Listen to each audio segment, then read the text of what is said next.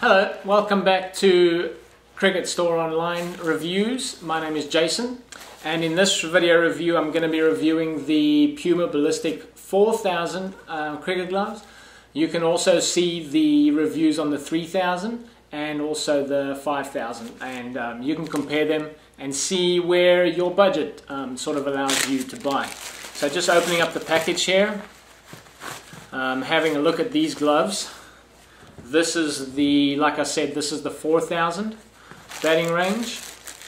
And so one of the differences here is that the finger protection for the bowlers is a little bit different down the um, down the two main bowling fingers right there. Um, you still have the very robust um, sort of cotton elastic strap there for when you're wiping sweat off your off your head. Um, there is a little bit of padding that's just missing right here on the thumb, as well as the uh, vented thumbs. There uh, doesn't have any extra venting, so they've saved a little bit of the cost to bring the cost a little bit down to you.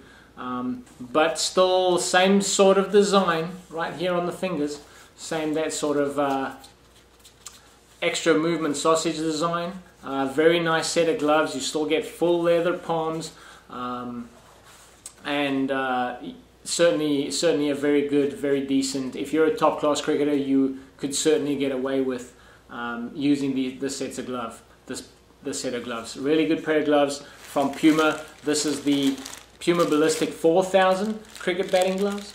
Um, have a look at the videos for the 3000. Have a look at the video for the 5000 and then come back and compare it with these 4000 uh, series gloves from Puma. You can get these gloves right now on my website at www.cricketstoreonline.com and uh, it would be a very good purchase.